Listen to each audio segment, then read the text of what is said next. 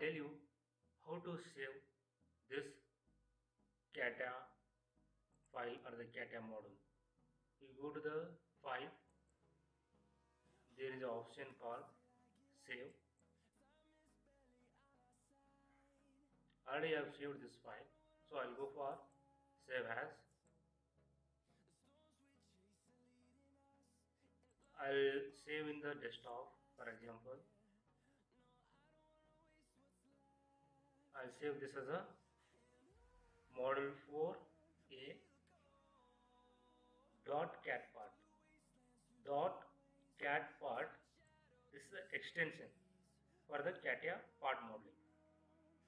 Dot CATPart is a, an extension for the part modeling.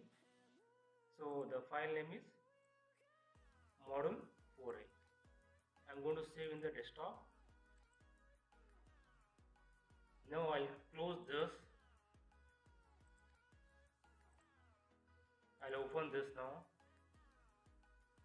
So this is a saved file on the desktop. This is a way to save the CATIA file.